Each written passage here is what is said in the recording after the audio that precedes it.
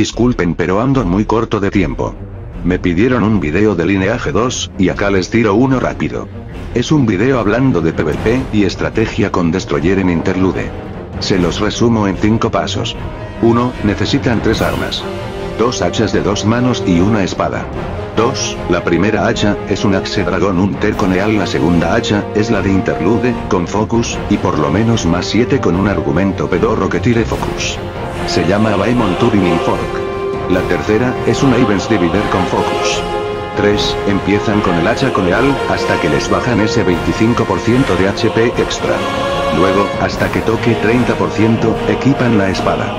Cuando está por el 45% más o menos, vuelven a equipar el Axe Dragón y están listos para drogarse. Se drogan con Gus. Y siguen dando. Ese último 30% con Gus les va a significar mucho. 4. Cuando están por morir, ponen Cealot y Battle Roa 5, se los subirá a 33% más o menos.